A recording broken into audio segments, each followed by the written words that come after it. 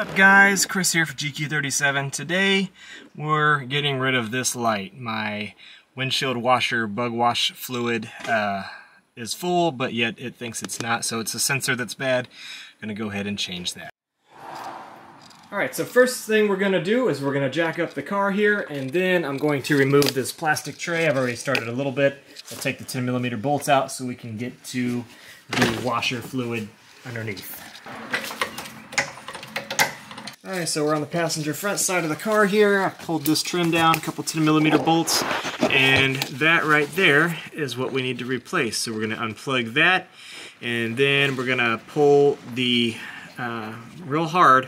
This rubber grommet's kind of keeping it in place, and I'm going to have a bowl underneath here to, to collect all the washer fluid that's going to come out of there. And then we'll swap it out with the new, new one and plug it back in. Just to get a look at what we're replacing, here is the, the new part that I got here. Ordered it from Nissan, about 30, 35 bucks. And this is what we're going to be pulling out. This little rubber grommet um, that's going to keep it in there. And then this is the little plug that's there.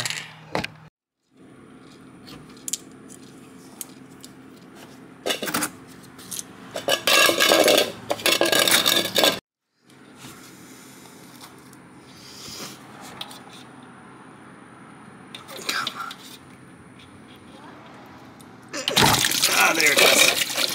All right. I also zip tied the sensor up out of the way because I knew we were about to get really wet. All right, so here is the sensor, or uh, what's left of it there. And uh, I did kind of destroy this grommet getting it off, but I didn't care. It's hard to get out. So this replacement is encapsulated with the surrounding, whereas the one I just pulled out is not.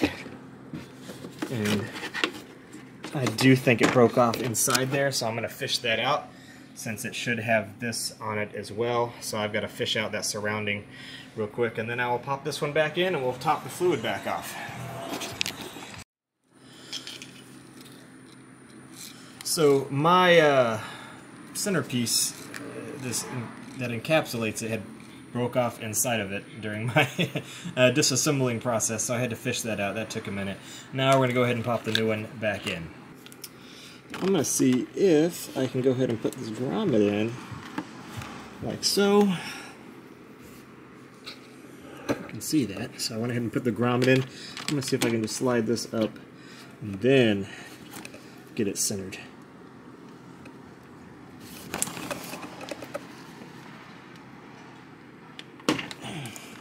There we go.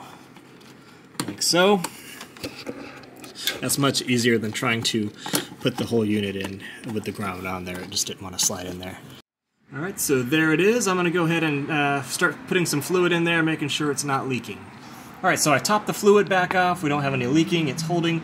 So I'm going to go ahead and put the car back together, put this tray up, and uh, lower the car, crank it up, and see if our light goes away guys, just put the bottom tray back on and lowered the car. We're gonna see if we can get rid of this light.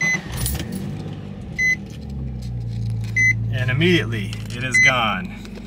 Now I do have a check engine light for an exhaust uh, sensor that I'm gonna be replacing tomorrow, but the light is gone. That's been plaguing me for the past week. It came on and uh, so I, I, had plenty of fluid, so I knew the sensor uh, was out. It's a 2006, so it was definitely time.